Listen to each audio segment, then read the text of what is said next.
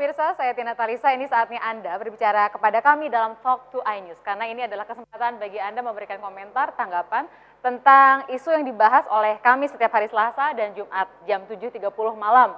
Langsung dan kami hadirkan selalu narasumber. Ini adalah cara kami untuk memberikan kesempatan bagi Anda mendengarkan apa kata para tokoh soal yang Anda pertanyakan. Dan hari ini kita akan bicara mengenai energi, spesifiknya soal bahan bakar minyak yang jadi urusan kita semua.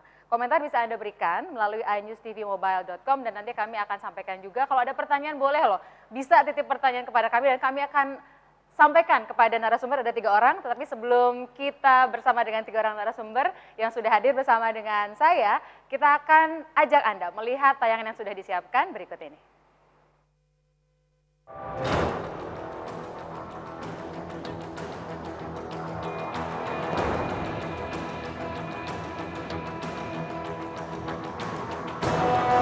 Januari 2015 lalu, secara resmi pemerintah tidak lagi mensubsidi BBM premium. Kebijakan ini diambil lantaran pemerintah merasa terbebani dengan besarnya biaya subsidi. Hilangnya subsidi membuat harga premium mengikuti harga minyak dunia. Dan lagi-lagi, masyarakatlah yang akan menanggung bebannya karena tidak hanya harga BBM yang akan naik, melainkan harga-harga sembako dan bahan kebutuhan pokok lainnya pun ikut naik. Sangat disayangkan ketika pemerintah tidak lebih dulu mengevaluasi biaya produksi BBM. Padahal banyak pihak menuding harga BBM khususnya jenis premium dibuat tanpa transparansi yang jelas dari pemerintah. Tata kelola yang tidak efisien dan praktik mafia migas pun disebut-sebut sebagai salah satu penyebab mahalnya biaya produksi BBM di negeri ini. Pada November 2014, pemerintah melalui Kementerian ESDM membentuk sebuah tim reformasi tata kelola migas atau dikenal dengan sebutan Tim Anti Mafia Migas. Tim tersebut diharapkan dapat mempersempit ruang gerak mafia migas dan mampu memberikan rekomendasi terkait reformasi tata kelola migas. Di akhir masa tugasnya, tim Mafia Migas telah memberikan 12 rekomendasi yang diharapkan mampu memberikan perubahan dalam tata kelola migas nasional. Salah satu rekomendasinya adalah dengan meninjau ulang fungsi dan tugas anak perusahaan Pertamina, yakni Petrol. Petrol dituding sebagai pihak yang selama ini membuat aktivitas produksi BBM menjadi tidak efisien. Dan pada Mei 2015, akhirnya anak perusahaan Pertamina ini pun resmi dibubarkan pemerintah. Lalu pertanyaannya, apakah dengan dibubarkannya Petrol, pemerintah mampu memberikan BBM yang berkualitas dan terjangkau oleh masyarakat?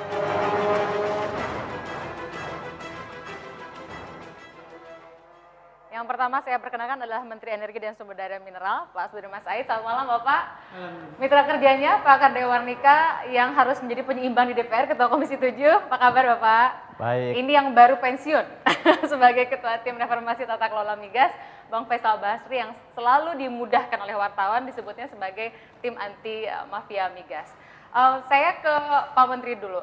Pak, ini kan ada masukan-masukan, rekomendasi dan Bapak sampaikan 60% itu sudah dijalankan, selebihnya masih ongoing. Tapi buat publik yang kerasa adalah uh, soal harga yang harus diterima oleh konsumen.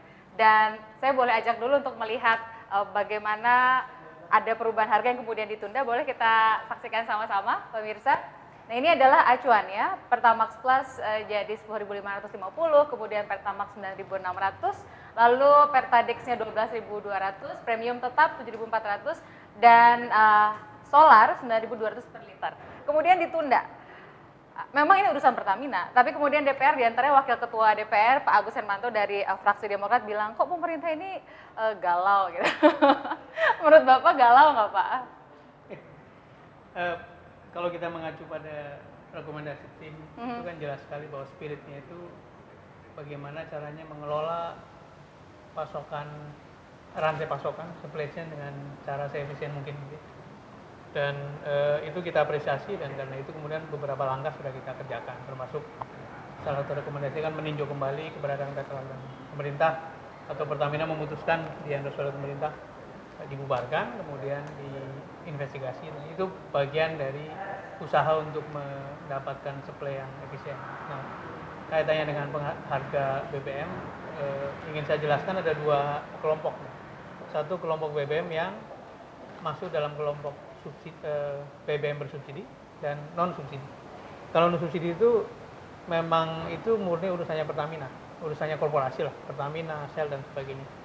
Jadi menjadi tugas dan domainnya mereka untuk menyesuaikan harga eh, di mana mereka memerlukan. Karena, dan kapan waktunya ya, pun terserah Pertamina. Terserah. Dan selama ini sebetulnya e, normal saja tiap dua pekan mereka mengumumkan harga pertama langsung ditempel apa diberitahu di SPBU gitu. Nah, yang yang subsidi menjadi tugas pemerintah karena memang undang-undang dasar mengatakan dan undang-undang migas mengatakan pemerintah tidak boleh melepaskan begitu saja ke mekanisme pasar karena itu harus ada saya menyebutnya moderasi harus ada cara untuk membuat eh, pergerakannya itu lebih smooth sehingga gejolak yang tadi disebutkan kepada harga rate tidak terlalu besar pengaruhnya gitu. Ini ini yang menjadi tugas pemerintah. Nah karena itu kemarin kita ini bukan soal galau tapi lebih bagaimana caranya mensinkronkan antara geraknya korporasi dengan geraknya pemerintah. Nah tadi pagi kami rapat disepakati bahwa untuk urusan non subsidi yang akan mengumumkan pemerintah eh, Pertamina. Jadi Pertamina akan memberikan satu uh, update kepada SPBU gitu. Kemudian yang subsidi dikerjakan oleh pemerintah. Ini kalau SOP ini sudah jalan barangkali ke depan akan lebih smooth lah proses-proses selanjutnya dan tidak perlu lagi ada uh, drama penundaan apa segala macam. Jadi yang ini menurut Bapak uh, kekurang cermatan dalam mendesain atau kesalahan dalam penerapan sehingga sudah diumumkan lalu ada penundaan? nggak ada yang kurang cermat, tidak ada yang salah. Karena saya bilang tadi pagi dalam press conference, kebijakan mencabut subsidi ini kan baru berjalan mungkin 3-4 bulan ya. Jadi memang kita masih perlu belajar bersama, baik korporasinya, masyarakatnya, pemerintahnya gitu. Tapi buat publik rasanya gini, belajarnya ini ongkosnya mesti diterima sama publik gitu Pak? Tentu saja dan tidak ada kebijakan yang memuaskan semua pihak. Yang penting adalah kita jujur mengatakan pada masyarakat inilah keadaannya. Saya bilang kita lihat setahun setelah kebijakan itu diterapkan, trennya bagaimana, harga bagaimana, kemudian nanti ketemu pola yang lebih yang lebih optimal. Dan e, kalau hari ini kita berharap akan ada suatu kebijakan yang memuaskan semua pihak, tidak realistis. Jadi yang penting adalah bagaimana masyarakat itu mendapatkan informasi, e, kita tidak menyembunyikan sesuatu dan dengan itu kan kebijakan itu juga ada aspek, aspek pendidikan pada masyarakat. Dengan resiko juga pemerintah dianggap gak pro rakyat gitu ya Pak ya dalam kaitan ini? ya uh, indahnya demokrasi kan begitu. ya kan? Jadi, Dan yang pasti di antara keras adalah Pak Kardaya gitu ya sebagai ketua komisi 7 uh, dari fraksi yang uh, bukan pendukung pemerintah juga. Pendukung, uh, pendukung. pendukung, oh, pendukung. Kalau jika benar, kalau jika Oke, oke, oke. Bapak bilang kalau pemerintahnya benar. Nah, yeah. yang dilakukan oleh pemerintah sekarang itu dalam sudut pandang pemerintah tentunya ini adalah cara-cara yang benar dan dengan tujuan lebih baik meskipun ongkosnya agak mahal. Bapak sepakat nggak dengan itu? Uh, begini, kalau saya menilai bahwa, mohon maaf ya, uh, pemerintah termasuk Pertamina belum mengerti apa itu BBM. Belum mengerti, karena begini, BBM itu adalah berdasarkan konstitusi menguasai hajat hidup orang banyak. Itu lalu harganya tidak boleh dilepas ke pasar. Itu ada ada ininya, ada ada konsekuensinya. Tadi sudah disebutkan Pak iya. Sudirman ya. juga sepakat soal itu, tidak ya. boleh dilepas ke pasar. Jadi iya, dan lalu ini yang paling dipentingkan di dalam kebijakan mengenai BBM itu karena semua masyarakat itu rakyat itu nyoroti, jadi jangan siksak. Jangan kiri lalu kanan, jangan diumumkan lalu dicabut. Itu kosnya sangat besar dan menjadikan walaupun yang mengumumkan Pertamina, yang mencabut Pertamina, tetapi kredibilitas pemerintah dipertaruhkan di situ. Itu beda. Kalau misalkan harga batu bara gitu nggak ada masalah.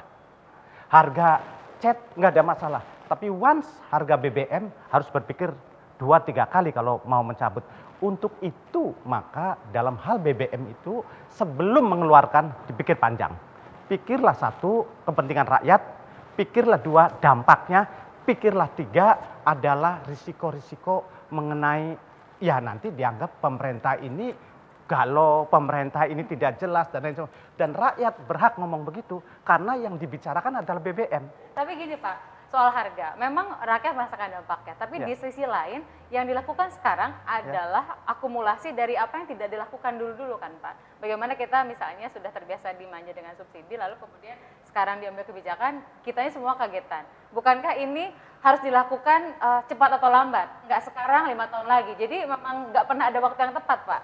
Begini, yang namanya eh, dalam hal BBM ini nomor satu harus mempertimbangkan kepentingan rakyat itu tidak bisa tidak. Pemerintah Jadi gini kemarin, Pak, sorry Pak, maksud pemerintah Bapak harga ya, nggak boleh naik apa gimana Pak? bukan. Jadi segala sesuatu dipertimbangkan lah. Ini rakyat dulu. Tidak ada pembedaan bagi rakyat tuh ini subsidi atau tidak subsidi. Bahwa semua BBM itu terkait dengan kepentingan rakyat. Jadi dalam mempertimbangkan harga BBM maka kepentingan rakyat itu menjadi utama. Oke, Itu. saya ke Bang Faisal, Eh, catatannya rakyat. Kemudian tadi kan di ujung tayangan yang kami buat, eh, bahwa masyarakat ingin dapat bahan bakar yang berkualitas dan terjangkau. Mungkinkah dua-duanya itu tercapai? Atau misalnya kalau berkualitas pasti harganya nggak terjangkau, kalau terjangkau pasti nggak berkualitas. Nah dari kajian eh, tim anti mafia migas, mohon maaf saya singkat supaya nggak kepanjangan tim reformasi tata Hmm. kelola migas. Nah, apakah akarnya itu tadi yang disebut gara-gara si mafia uh, migas ini dan kalau ada mafia kita sebut tim anti mafia migas siapa sebenarnya mafianya bang Oke, kalau yang pertama tentang harga dulu ya. Kita tidak bisa mengendalikan harga crude dunia. Jadi ini yang masalah kan itu. Kalau kita bisa mengendalikan ya gampang semua. Dan harga crude itu mencapai kalau nggak salah sih antara 70 sampai 80 persen harga BBM itu. Ya kalau mafia kan cuma ngambil fee satu dua tapi dia merusak tatanan itu eh, yang satu ya. Nah kemudian eh, tugas pemerintah kan susahnya adalah menstabilkan harga agar gonjang ganjingnya tidak terlalu lebar. Jadi to smooth the process kalau pakai pasar itu. Nah kita belajar, saya rasa saya udah ngobrol sama eh, anak buah Pak Menteri, eh, Pak Agus, Pak Menteri, eh, rasanya kita perlu nih diskusikan dan saya walaupun udah pensiun saya mau welcome banget Oh, diskusi sama walaupun nggak teman-teman. diperpanjang, tetap lanjut ya. Eh, belajar misalnya ada kasus Malaysia. Di Malaysia itu lebih stabil. Tiga bulan ini harga tidak berubah di Malaysia. Kenapa? Dia ada komponen pajak. Kalau harga mencapai lebih tinggi dari itu, pajaknya tidak diberlakukan. Tapi pasti Pak Bambang nih marah kan? Menteri PPN Keuangan. 10 persen. Nah, tapi kan nanti ada ada komponen-komponen pajak yang eh, fix, ada yang fleksibel gitu. Yang fleksibel misalnya apa? Kalau di Thailand ada oil fund.